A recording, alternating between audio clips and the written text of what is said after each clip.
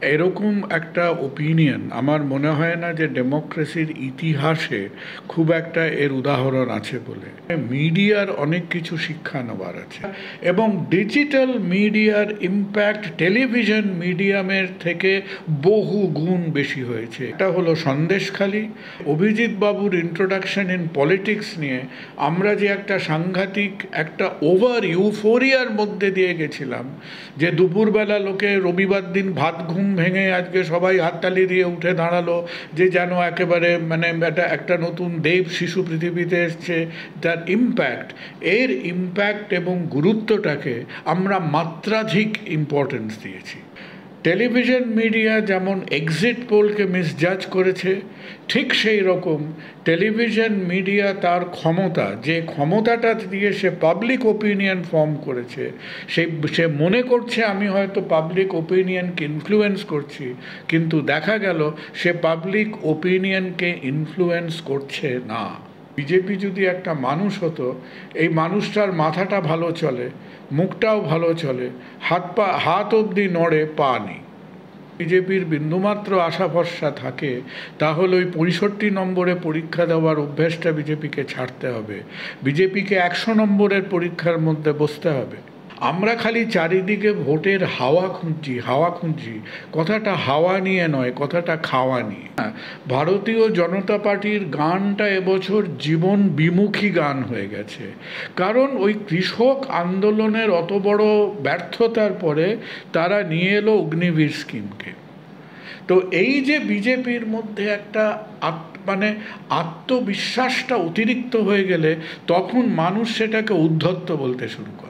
আজকে বিজেপি যে গ্যাট হয়ে বসে রইল, হয়তো তাদের মধ্যে কিছু যথার্থতা ছিল যে পশ্চিমবঙ্গ সরকার এতগুলো কারচুপি আছে, এতগুলো ভুয়ো লোকের নাম আছে, এতগুলো রসিদ দেয়নি, এতগুলো বিল দেয়নি। আচ্ছা আমি গ্যাট হয়ে বসে রইলাম, তাতে আমি টাকাটা পেলাম না। কিন্তু এফেক্টেড কে হচ্ছে? মমতা ব্যানার্জি বন্দ্যোপাধ্যায়ের ওপর তো এফেক্ট হচ্ছে না। এফেক্ট হচ্ছে সেই মানুষদের কাছে এবং মমতা বন্দ্যোপাধ্যায় এফেক্টিভলি মানুষকে বোঝালেন যে দেখো, তোমাকে আমি টাকাটা দিতে পাচ্ছি না এবং এই কারণে দিতে পাচ্ছি না কারণ টাকাটা কেন্দ্রের থেকে আসেনি। সুতরাং এই যে মানুষের অভাব, অনটনের যে আক্ষেপটা, এই আক্ষেপটার খবরটা তাদের কাছে পৌঁছিয়েছিল যে একটা ইস্যুকে বিরাট ইস্যু করে তোলার চেষ্টা করেছিল, সেটা হয়তো বড় ইস্যু, সেটা হচ্ছে দুর্নীতির ইস্যু। যে চাকরি ক্ষেত্রে চুরি, এই চুরি, অমুক চুরি, কয়লা চুরি, সাবান চুরি, গরু চুরি, আলু চুরি, সেটা খুব ভালো কথা। কিন্তু চাকরি ক্ষেত্রে ওই সমস্ত চাকরি রিলেটেড যে স্ক্যামগুলো সেটা হয়তো মানুষের মধ্যে একটা ক্ষোভ, মানুষের কাছে একটা, মানুষ ভেবাচাকা খেয়ে গেছিল, ক্ষোভ হয়েছিল, রাস্তায় ছেলেমেয়েগুলো বসে আছে, সেটা দেখতে পাচ্ছে। কিন্তু তারপরে আমি যখন আটচল্লিশ ঘণ্টার মধ্যে এক বিচারপতিকে আমার পার্টির ক্যাডার করে নিলাম, তখন তো সেই জেনারেল পাবলিকের মধ্যে নাইনটি পার্সেন্ট লোক তো এই কথাই বলল, আরে, এ তো তোমার পার্টির লোক বরাবরই ছিল। সেই কারণেও তো দু বছর ধরে বসে বসে এই রুলিংগুলো দিয়েছে। তার মানে আমাদের দিদিমণি যেটা বলছেন, সেই কথাটাই ঠিক।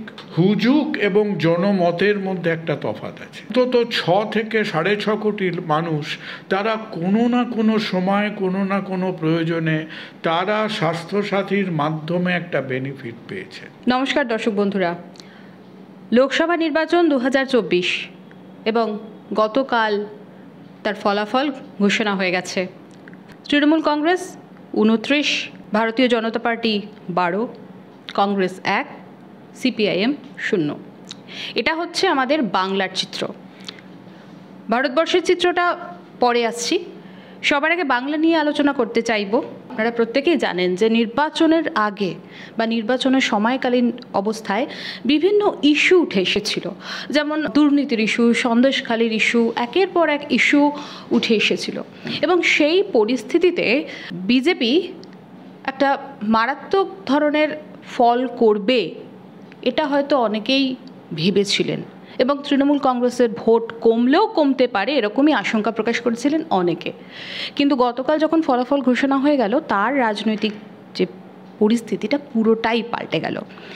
এটা কেন ঘটলো? কি কারণে ঘটলো?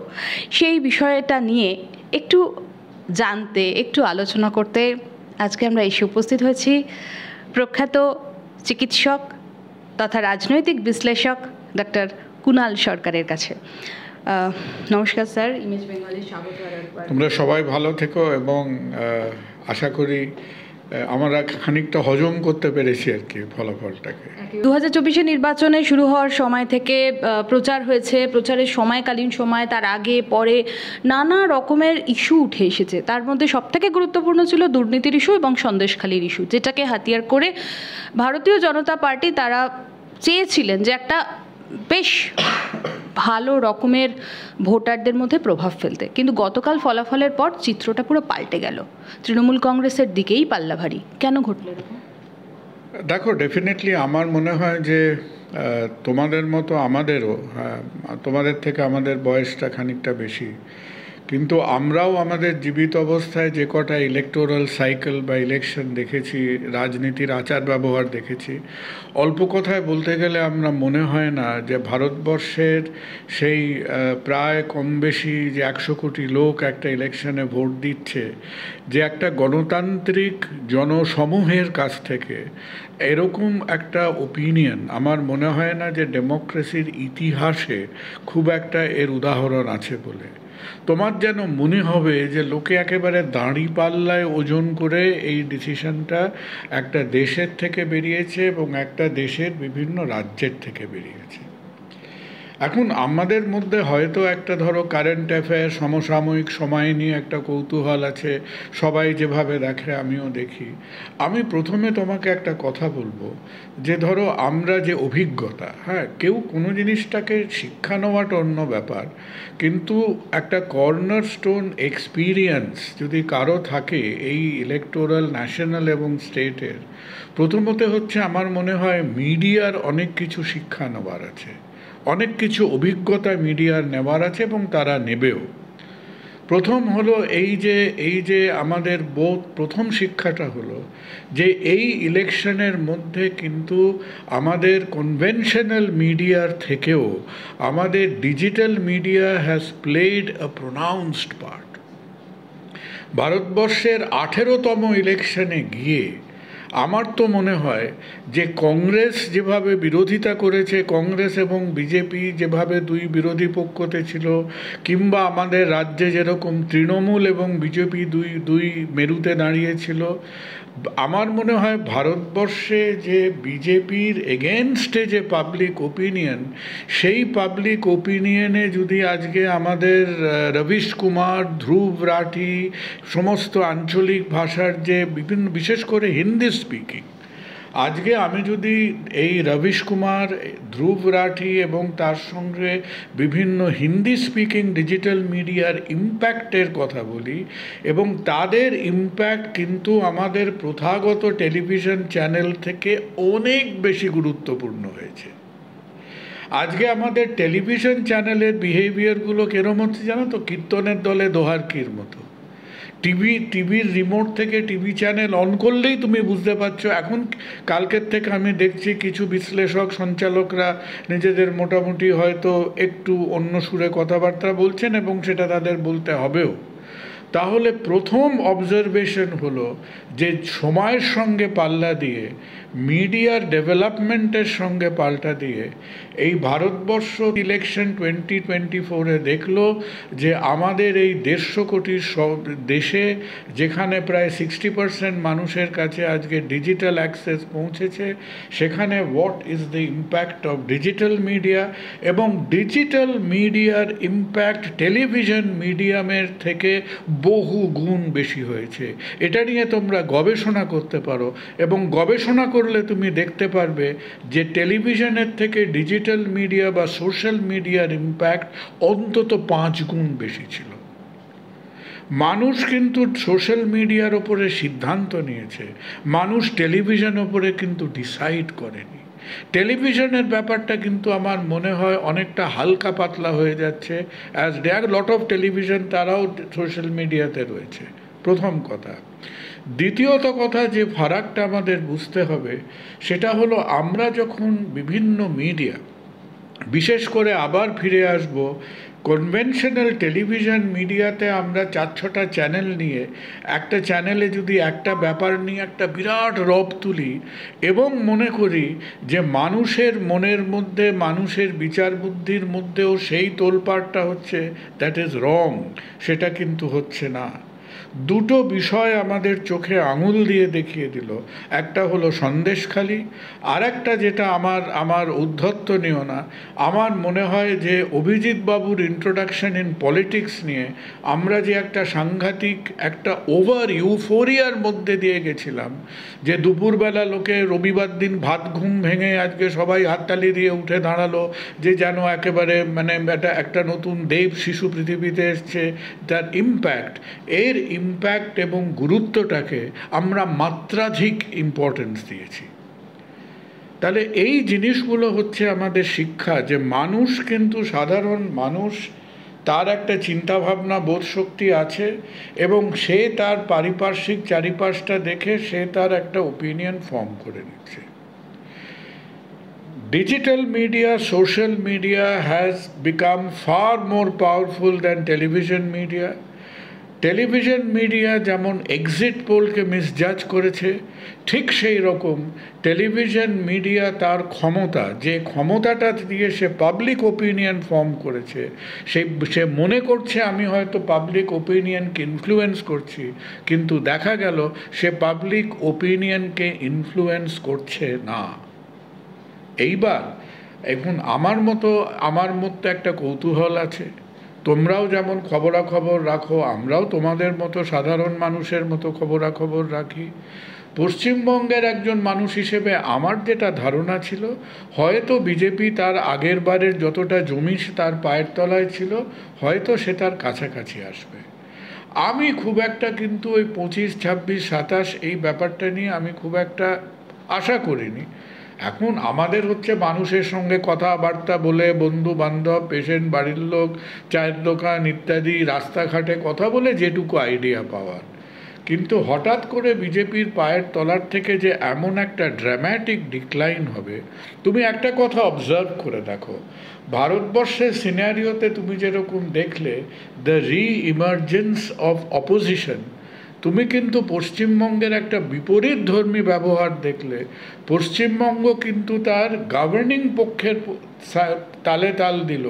পশ্চিমবঙ্গের মানুষ ইফ এনিথিং বোধ বিজেপি অ্যান্ড লেফট কংগ্রেস অপোজিশনকে কিন্তু আগের থেকে আরও খানিকটা নামিয়ে দিল। তো সেইখানে পশ্চিমবঙ্গের গতি প্রকৃতি বা ব্যবহার has been contradictory to the general Indian behaviour উত্তরপ্রদেশের ব্যবহারের সঙ্গে পশ্চিমবঙ্গের যে মানুষের যে রিয়াকশন এই রিয়াকশন কিন্তু Paschim Paschimbanga has behaved in a very unique way যেটা কর্ণাটকের সঙ্গে মেলে না, মহারাষ্ট্রর সঙ্গে মেলে না, উত্তরপ্রদেশের সঙ্গে মেলে না এবং উড়িষ্যার সঙ্গে মেলে না। তাহলে সেখানে কিন্তু আজকে পশ্চিমবঙ্গে যারা অপোজিশন পলিটিক্স করছে, তাদের কিন্তু একটা নিজেদের বিশ্লেষণ করার বা একটা শর্ট অফ পোস্টমর্টম করার একটা সময় এসছে যে তক, যেখানে সারা ভারতবর্ষ এমন একটা ভাবধারা বা মুডের মধ্যে ছিল, সেখানে পশ্চিমবঙ্গের ব্যবহারটা কেন এত ডিফারেন্ট হলো? হাও আই থিঙ্ক যারা সোশিওলজিস্ট আমার মনে হয় ইট ইজ এটা এটা একটা সামাজিক প্রশ্ন। এটা রাজনৈতিক প্রশ্ন নয়।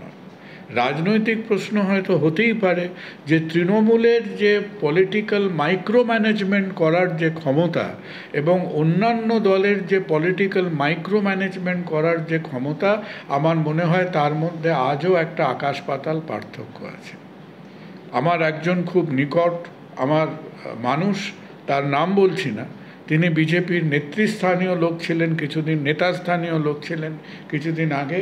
তিনি আস্তে আস্তে একটা কথা বারবার বলেন, আমি তার কথার মানেটা বুঝতাম না।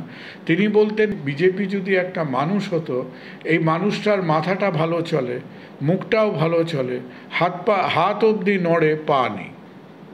যে বিজেপিকে তিনি সব, তা সে সবসময় বলে যে কোমর অবধি আছে, কোমরের তলাটা ল্যাকিং কারণ এই যে দৌড় ঝাঁপ করে উঁচু নিচু খানা খন্দ সব রকম অতিক্রম করে তাকে যে একটা পলিটিক্যাল অ্যাক্টিভিটি করতে হবে, যে নরেন্দ্র মোদী অমিত শাহের ঘাড়ের ওপর দিয়ে ভর করে যে বৈতরণী পার হবে না that is a very important thing second আমার মনে হয় যেটা বিজেপির পক্ষে একটা ভীষণ ন্যাশনাল স্টেজ এবং ওয়েস্ট বেঙ্গলের পক্ষে খুব ইম্পর্ট্যান্ট লেসেন সেটা হলো যে বিজেপিকে কিন্তু এখন এই হিন্দু মুসলিম ডায়ালগটাকে ছেড়ে দিয়ে তাকে একটু ন্যাশনাল লেভেল ডায়ালগে কিন্তু আসতেই হবে। এবং পশ্চিমবঙ্গে যদি বিজেপির বিন্দুমাত্র আশা ভরসা থাকে, তাহলে ওই পঁয়ষট্টি নম্বরে পরীক্ষা দেওয়ার অভ্যেসটা বিজেপিকে ছাড়তে হবে। বিজেপিকে একশো নম্বরের পরীক্ষার মধ্যে বসতে হবে। আর বিজেপি যে কারণে আমার মনে হয় জাতীয় স্তরে বিজেপি বেশ কয়েক ধাপ পিছিয়ে গেল কেন? এই কারণে পেছালো, তুমি একটা মানুষ তো কেবল রাজনৈতিক কচকচি করছে না। আমরা খালি চারিদিকে ভোটের হাওয়া খুঁজছি হাওয়া খুঁজছি। কথাটা হাওয়া নিয়ে নয়, কথাটা খাওয়া নিয়ে। আজকে তুমি চিন্তা করো যে গতবারের ইলেকশনের পর থেকে মানুষের ওপর দিয়ে ডিমনিটাইজেশন বা নোটবন্দি মানুষের ওপরে একটা একটা সাংঘাতিক, তার একেবারে পেটে আঘাত করেছে। যেখানে ভারতবর্ষে একশো জনের মধ্যে পঞ্চাশ জন লোক আনঅর্গানাইজ সেক্টরে কাজ করে, দিন আনে, দিন খায়, কেউ হকারি করে, কেউ কেউ রিক্সা চালাচ্ছে, কেউ অটো চালাচ্ছে। বাকি তুমি চিন্তা করো, বাকি থার্টি পার্সেন্ট মানুষ, তারা একদম স্মল স্কেল মিডিয়াম স্কেল ইন্ডাস্ট্রিতে কাজ করে, বড় বড় কেতাবি কলকারখানায় কাজ করছে ভারতবর্ষের ওয়ার্ক ফোর্সের লেস দ্যান টোয়েন্টি পার্সেন্ট সেইখানে নোটবন্দির মতো একটা হটকারী কাজ, সেইটা মানুষকে একেবারে তার পেটে আঘাত করেছে। তারপর তুমি চিন্তা করো, এলো তোমার কৃষক আন্দোলন।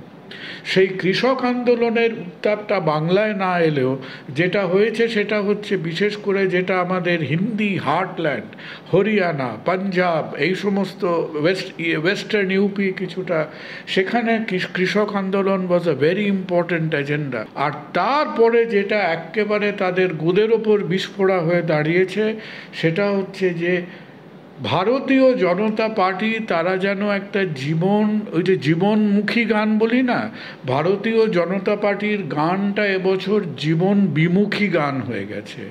কারণ ওই কৃষক আন্দোলনের অত বড় ব্যর্থতার পরে তারা নিয়ে এলো অগ্নিবীর স্কিমকে। সেটাও এখন যেহেতু ধরো কৃষক আন্দোলন বাংলায় আজ ফেলেনি, কি আর্মিতে ঢুকতে পারলে কি পারলে না সেটা একটা সাধারণ বাঙালি পরিবারের কাছে বিরাট ইস্যু নয়, কিন্তু নর্দার্ন ইন্ডিয়ান হার্টল্যান্ড, বিশেষ করে সেই পাঞ্জাব, সেই হরিয়ানা, সেই উত্তরপ্রদেশে একটা গ্রাম থেকে যে একটা মানুষ যদি একটা আর্মিতে সুযোগ পায়, তাদের একটা সামাজিক আপলিফমেন্ট হয়। হয়তো তারও একটা সদর্থক দিক আছে। কিন্তু বিজেপির এই যে একগুয়েমিগুলো যে আমি কাউকে জিজ্ঞেস করব না, কাউকে কনসাল্ট করব না, কোভিডের মধ্যে তারা অ্যাগ্রিকালচার বিলটা নিয়ে এসেছিল, কোভিডের মধ্যে ইমার্জেন্সি লেজিসলেশন হিসেবে। আর একেবারে বুলডোজারের মতো তারা অগ্নিবীরকে নিয়ে এলো, যে অগ্নিবীর স্কিমের মধ্যে হয়তো কিছু ভালো দিক আছে, এবং সেটাকে নিয়ে অন্তত কয়েক মাস আলোচনার প্রয়োজন ছিল। তো এই যে বিজেপির মধ্যে একটা মানে আত্মবিশ্বাসটা অতিরিক্ত হয়ে গেলে তখন মানুষ সেটাকে উদ্ধত্ত বলতে শুরু করে। তো এই যে এটাকে তুমি সোশ্যাল অ্যারোগেন্স বা উদ্ধত্ত বলাটা, যে বিজেপি ইনফ্রাস্ট্রাকচারে কাজ করেছে, বিজেপির সামলে আমাদের ডিজিটাইজেশন ইনফ্রাস্ট্রাকচার রোড এগুলো অনেক বিষয় আমাদের কাজ হয়েছে। কিন্তু বিজেপি যেন গত প্রায় দু বছরের মধ্যে একটা ক্ষমতার যে অহমিকা এই ক্ষমতার অহমিকা তার সামাজিক চেতনাবোধের যেন বিপরীতে কাজ করতে শুরু করল। এবং এটা শুধু বাংলার প্রশ্ন নয় এটা তুমি সর্বভারতীয় ক্ষেত্রে দেখতে পাচ্ছ। আর আরেকটা ফেলিয়ার যেটা বিজেপিকে জানতে হবে যে আজকে ধরো আমি এই গুজরাটি নন গুজরাটি মনোভাবটাকে বিশেষ প্রাধান্য দিতে চাই না কিন্তু বাংলাতে কিন্তু একদিক দিয়ে বলতে হবে যে Bangla was the only non BJP state যেখানে বিজেপি বাংলার বিরোধী পক্ষ, কিন্তু সেখানে কিন্তু এই কথাটা ওঠেনি। কিন্তু আজকে বিজেপির যে অতিরিক্ত গুজরাটি এবং গুজরাট প্রীতি, এই কথাটা কিন্তু কর্ণাটকে উঠেছে, মহারাষ্ট্রতে উঠেছে, বারবার উঠেছে। আর বিজেপি তার যে প্রো ইন্ডাস্ট্রি মনোভাবটা দেখিয়েছে, সেটা একটা লবির প্রতি ছিল এবং কাদের ছিল? সেই স্কাই স্ক্রেপার কর্পোরেটদের প্রতি। আজকে যদি এই যে বেকারত্ব বেকারত্ব বেকারত্ব কথাটা বারবার কেন আসছে? কারণ আমাদের একশো জন লোক যারা কাজকর্ম করে, তার এইটটি পারসেন্ট লোক কাজকর্ম হচ্ছে ছোটোখাটো ক্ষেত্রে, দিন আনি দিন খায় ডিসঅর্গানাইজ ক্ষেত্রে। তুমি তার কথাটা ভুলে গেলে খালি ভিত্তাল মিত্তাল আদানি, আম্বানি, এদের সংস্পর্শে ঘুরে বেড়ালে তো ভারতবর্ষের এমপ্লয়মেন্ট হবে না। ভারতবর্ষের এমপ্লয়মেন্ট যদি আনতে হয়, যারা মাসে দশ হাজার টাকা টেনে টুনে রোজগার করে, ঠিক দশ থেকে পনেরো হাজার টাকা রোজগার করতে পারে মাসে, তোমাকে তো সেই ধরনের এমপ্লয়মেন্টের দিকে ফোকাস করতে হবে। সো বিজেপির সোশ্যাল অ্যাওয়ারনেস এবং তারা যেন একটু জমির ওপর দিয়ে হাঁটতে শুরু করেছিলেন। আর this should have been apparent to BJP sir আর একটা বিষয় আপনাকে জানার সেটা হচ্ছে যে কেন্দ্রের বঞ্চনার বিরুদ্ধে আমরা দেখেছি যে তৃণমূল কংগ্রেস বারবার সরব হয়েছেন এবং পাশাপাশি লক্ষ্মীর ভাণ্ডার। একদিকে লক্ষ্মীর ভাণ্ডার, এটা যে অনুদান দেওয়া হয়েছে, সেটা কত বড় ফ্যাক্টর হলো এই ইলেকশন দেখো, তৃণমূল সরকারের যে দুর্বলতা, যে দুর্বলতাটা হচ্ছে যে তাদের হাজারো চেষ্টা সত্ত্বেও তারা সেই অর্থে আমাদের এখানে ইন্ডাস্ট্রি এখন কেউ কেউ একবার মেদিনীপুরে ইন্ডাস্ট্রি করছেন, একবার গড়বেতায় করছেন, একবার অমুক করছেন, এরপরে হয়তো বে অফ বেঙ্গলে স্টিলের কারখানা হবে বলে মনে হচ্ছে। আজকে হাজারো চেষ্টা করেও তৃণমূল যে ইন্ডাস্ট্রিয়ালাইজেশন আনতে পারছে না, তৃণমূল কিন্তু তার সেই দুর্বলতাটাকে, তার বেনিফিশিয়ারি স্কিমসের মধ্যে দিয়ে এবং তৃণমূল মানুষের মধ্যে এখন কি ছিল? তৃণমূল মানুষকে গিয়ে বলছে যে, আমি টাকা দিতে পারছি না কারণ গভর্নমেন্ট আমার টাকা আটকে দিয়েছে। বিজেপি সেটাকে জাস্টিফাই করছে যে কেন গভর্নমেন্ট টাকা দিচ্ছে না, তুমি এই হিসেব দাওনি, এই দাওনি অথেন্টিকেশন হয়নি, জালিয়াতি হয়েছে। কিন্তু লাস্ট রেজাল্টটা কি? লাস্ট রেজাল্টটা তো হচ্ছে মানুষ টাকা পেল না। তো বিজেপির কাছে এই কমন সেন্স স্টেটমেন্টটা যায়নি যে আমার যদি আজকে হিসেবপত্রে গণ্ডগোল থাকে, আমার হাতে কোর্ট আছে, আমার কাছে স্ট্যান্ডিং কমিটি আছে, আমার কাছে আর্বিট্রেশন কমিটি আছে, আমার কাছে বিভিন্ন লিগ্যাল এবং আমাদের ফোরাম আছে, সেখানে গিয়ে আমাকে তো এই নিষ্পত্তিটা করে মানুষের কাছে টাকাটা দিতে হবে। আজকে বিজেপি যে গ্যাট হয়ে বসে রইল হয়তো তাদের মধ্যে কিছু যথার্থতা ছিল যে পশ্চিমবঙ্গ সরকার এতগুলো কারচুপি আছে, এতগুলো ভুয়ো লোকের নাম আছে, এতগুলো রসিদ দেয়নি, এতগুলো বিল দেয়নি। আচ্ছা আমি গ্যাট হয়ে বসে রইলাম, তাতে আমি টাকাটা পেলাম না। কিন্তু এফেক্টেড কে হচ্ছে? মমতা ব্যানার্জি, বন্দ্যোপাধ্যায়ের ওপর তো এফেক্ট হচ্ছে না। এফেক্ট হচ্ছে সেই মানুষদের কাছে এবং মমতা বন্দ্যোপাধ্যায় এফেক্টিভলি মানুষকে বোঝালেন যে দেখো, তোমাকে আমি টাকাটা দিতে পারছি না এবং এই কারণে দিতে পারছি না কারণ টাকাটা কেন্দ্রের থেকে আসেনি। সুতরাং এই যে মানুষের অভাব, অনটনের যে আক্ষেপটা, এই আক্ষেপটার খবরটা তাদের কাছে পৌঁছিয়েছিল। বিজেপিকে যদি বুঝতে হয় যে ভোটটা কে দেবে? ভোট তো আমার পলিটিক্যাল কমিটি দেবে না, ভোট তো মানুষটা দেবে। তো মানুষের কাছে তো লক্ষ্মীর ভাণ্ডার হচ্ছে, তার দুঃখ দুর্দশায় তার সাহায্য হচ্ছে। সিমিলারলি মানুষের হাতে যদি একশো দিনের কাজের পয়সাটা আসতো, তাতেও তার সাহায্যটা হতো। এখন আমি হয়তো আমার আমার স্টাবার্ননেস বা আমি হয়তো আমি হয়তো অ্যাডমিনিস্ট্রেটিভলি কারেক্ট কিন্তু আমি আমার অ্যাডমিনিস্ট্রেটিভ গোয়ার তুমি দেখাতে গিয়ে আমি তো কয়েক কোটি মানুষের অসুবিধের কারণ হয়ে দাঁড়াচ্ছি। এবং এই ফয়সালাটা আরও তাড়াতাড়ি করার একটা গরজ একটা আর্জ বিজেপির মধ্যে থাকা উচিত ছিল। আমার মনে হয় বিজেপির মধ্যে, বিজেপির কাছে দ্যাট ওয়াজ আ ব্লান্ডার আর বিজেপি যে একটা ইস্যুকে বিরাট ইস্যু করে তোলার চেষ্টা করেছিল, সেটা হয়তো বড় ইস্যু, সেটা হচ্ছে দুর্নীতির ইস্যু। যে চাকরি ক্ষেত্রে চুরি, এই চুরি, অমুক চুরি, কয়লা চুরি, সাবান চুরি, গরু চুরি, আলু চুরি, সেটা খুব ভালো কথা। কিন্তু চাকরি ক্ষেত্রে ওই সমস্ত চাকরি রিলেটেড যে স্ক্যামগুলো সেটা হয়তো মানুষের মধ্যে একটা ক্ষোভ, মানুষের কাছে একটা, মানুষ ভেবাচাকা খেয়ে গেছিল, ক্ষোভ হয়েছিল, রাস্তায় ছেলেমেয়েগুলো বসে আছে, সেটা দেখতে পাচ্ছে। কিন্তু তারপরে আমি যখন আটচল্লিশ ঘণ্টার মধ্যে এক বিচারপতিকে আমার পার্টির ক্যাডার করে নিলাম, তখন তো সেই জেনারেল পাবলিকের মধ্যে নাইনটি পার্সেন্ট লোক তো এই কথাই বলল, আরে, এ তো তোমার পার্টির লোক বরাবরই ছিল। সেই কারণেও তো দু বছর ধরে বসে বসে এই রুলিংগুলো দিয়েছে। তার মানে আমাদের দিদিমণি যেটা বলছেন, সেই কথাটাই ঠিক। তো তুমি যদি একজন সাধারণ ভোটার একজন সাধারণ মানুষ, সেই কনক্লুশনে আসে আজকে বিজেপি যে আক্ষেপটা আকাশে বাতাসে ছড়িয়ে দিচ্ছে, যে বাংলার মানুষের কাছে দুর্নীতি বড় কথা নয়, কথাটা ঠিক নয়। আজকে BJP is paying for its blunder আজকে বিজেপির যদি যদি অভিজিৎ বাবুর মধ্যে বিজেপির সম্বন্ধে একটা সহমর্মিতা থাকতো বিজেপি অনেক বেশি উপকৃত হতো। যদি অভিজিৎ বাবু তার বিচারকের অবস্থানটা আরও ছ মাস ধরে রাখতে পারতেন ইলেকশন হয়ে যেত, তাহলে দুর্নীতিটা একটা জেনুইন ইস্যু হলো। আমি নিজেই একটা ফুঁ দিয়ে বেলুন ফোলালাম এবং তারপর আমি নিজেই একটা আলপিন নিয়ে গিয়ে বেলুনটায় ফোটালাম। আজকে কিন্তু বিজেপিকে স্বীকার করতে হবে। বিজেপি কোথায় ফাঁদে পাটা দিল? কারণ বিজেপি উত্তেজনা, উত্তেজিত বোধ করল যে হ্যাঁ অভিজিৎ বাবু আমাদের কাছে আসছেন, উনি একটা বিরাট ব্যক্তিত্ব, উনি একটা উনি একটা পাওয়ারফুল কাজ করেছেন দু বছর ধরে। আর বিজেপি যে কাজটা করল, বিজেপি হচ্ছে এই মিডিয়ার হুজুকে মেতে উঠল।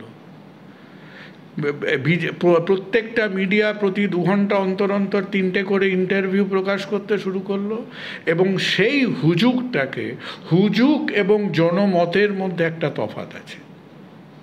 কোনটা আমাদের কাছে হুজুকেপনা হুজুকেপনা যে জনমত নয়, এই শিক্ষাটা বিজেপি এই ইলেকশন থেকে নিয়ে যাক।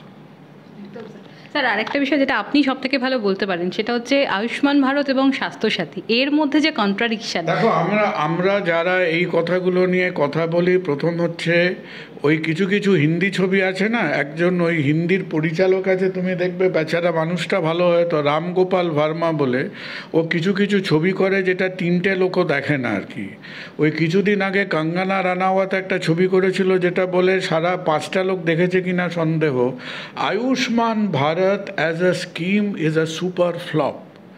প্রথমত শুরু করেছিল থার্টি পার্সেন্টকে দেবে বলে, তারপর এক বছর কেটে গেল, লোকে জানতে পারল না কার্ড হবে কি হবে না, এবং আলটিমেটলি আয়ুষ্মান ভারত একটা কাগুজে বাঘ আমি তোমাকে নিজের অভিজ্ঞতা থেকে বলছি, আমরা সারা দেশে বিভিন্ন জায়গায় ঘোরাঘুরি করি, বিজেপি রুলড স্টেট ক্যাপিটালগুলো যদি দেখো, বিজেপি রুলড ক্যাপিটাল যে রাজ্যের যে রাজ্যের ওপর, যে জায়গাটার ওপর আমাদের ন্যাশনাল ক্যাপিটালের যদি প্রথম একশোটা হাসপাতালের নাম লেখো, নিরানব্বইটা আয়ুষ্মান ভারত ছুঁয়ে দেখে না। হতে পারে সেটা আপ শাসিত রাজ্য, কিন্তু আপ কখনো তো বলেনি আমি আয়ুষ্মান ভারত করব না। তুমি যদি আজকে হিন্দি হার্টল্যান্ডের মধ্যে দেখো, আজকে অ্যাপ্লিকেশন বা adaptability of Ayushman Bharat was a failure BJP PMJ programme wellness এগুলোকে বলে সেটাকে একটা ওই যে ওই যে জুমলা কথাটা আছে না? যে সেটাকেও একটা, সেটাকে একটা পাবলিক রিলেশন আয়ুষ্মান ভারত হচ্ছে মানুষের কাছে ডেলিভারি করতে হবে। মানুষের কাছে সেই এক্সপিরিয়েন্সটা হতে হবে যে আমি আমার প্রয়োজনের দুর্দিনে আমি এই স্কিমটাকে কাছে পেয়েছি। আয়ুষ্মান ভারত কি হয়ে দাঁড়াল? আয়ুষ্মান হয়ে দাঁড়াল যে চটকদারি সোশ্যাল স্কিম নিয়ে আমি বিভিন্ন জায়গায় কথা বলব। প্রাইম মিনিস্টার আয়ুষ্মান ভারতের এফেক্টিভ মানুষ সেটা অভিজ্ঞতাটা পেয়েছে কিনা, মানুষ সেই বেনিফিটটা পেয়েছে কিনা। স্বাস্থ্যসাথীর মধ্যে হাজারোটা সমস্যা আছে। স্বাস্থ্যসাথী বর্তমানে অনেক সার্ভিসেস কম করে দিয়েছে। কিন্তু স্বাস্থ্যসাথী, তুমি যদি এই যে এক্সপোজার টাইম অফ তুমি চিন্তা করো, প্রায় চার থেকে পাঁচ বছর যদি চিন্তা করো, তুমি একটা হিসেব দেখলে দেখতে পাবে যে রাজ্যের হয়তো দশ কোটি লোকের মধ্যে অন্তত ছ থেকে সাড়ে ছ কোটি মানুষ, তারা কোনো না কোনো সময়, কোনো না কোনো প্রয়োজনে তারা স্বাস্থ্যসাথীর মাধ্যমে একটা বেনিফিট পেয়েছে। যে কথাটা তুমি এমনিতেই আয়ুষ্মান তৈরি করছ থার্টি পার্সেন্টের কাছে পৌঁছবে বলে, এবার সেই থার্টি পার্সেন্টে টোয়েন্টি পার্সেন্ট যদি অ্যাকচুয়ালি হাতে পেয়ে থাকে, তাহলে সারা দেশের জনসংখ্যার নিরিখে what is the benefit of Ayushman Bharat? Nothing আর ঠিক ভোটের আগে যে বাজেট অন অ্যাকাউন্ট হয়েছিল, সেই বাজেট অন অ্যাকাউন্টে একটা বিরাট কথাবার্তা হয়েছিল যে প্রধানমন্ত্রী নাকি অ্যানাউন্স করবেন, আয়ুষ্মান ভারত কত লোকের কাছে পৌঁছবে সেটা উনি বাড়িয়ে দেবেন, আয়ুষ্মান ভারতে কত টাকা হবে সেটা বাড়াবেন, যেটা রাহুল গান্ধী বলেছে। হি হ্যাজ সাজেস্টেড যে আমরা কুড়ি লাখ টাকা অবধি টাকা দিই ফর হেলথ ইন্স্যুরেন্স এই যে প্রপোজালগুলো ছিল, একজন ডাক্তার হিসেবে আমি খুব হতাশ হয়ে দেখেছিলাম যে লাস্ট বাজেট অন অ্যাকাউন্ট যখন পাস্ট হচ্ছে, এই যে একটা গুঞ্জন শোনা যায় বাজেট টাজেটের আগে, আমরা এক গ্লাস জল খেয়ে ঢোক গিলে বুঝেন তারা অ্যাজ এ বিজেপি এমন একটা ভাব করল, আমার তো প্রচুর ভোট আছে, এইটুকু আমার না করলেও হবে এখন। And I think BJP has paid a big penalty for that একেবারেই। আমরা অনেক কিছু শুনলাম আপনার কাছ থেকে এবং আপনার এই কথাবার্তা নিঃসন্দেহে মানুষের মনকে জাগ্রত করতে আরও সাহায্য করবে এবং সব থেকে বড় কথা স্যার যেটা বললেন যে হুজুগ আর জনমত এই দুটো বিষয় কিন্তু এক নয়। তো তো এই বিষয়টা আমাদের মাথায় রাখতে হবে। অনেক ধন্যবাদ স্যার আমাদের সময় দেওয়ার জন্য। ক্যামেরা অজিত দাসের সঙ্গে সাথী নিকেতাসের রিপোর্ট ইমেজ বেঙ্গল কলকাতা।